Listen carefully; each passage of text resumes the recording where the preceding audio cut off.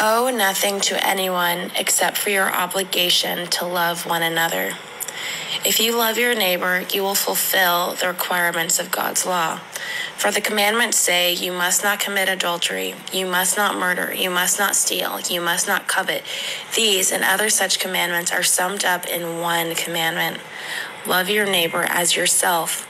Love does no wrong to others, so love fulfills the requirements of God's law. This is all the more urgent, for you know how late it is. Time is running out. Wake up, for our salvation is nearer now than when we first believed.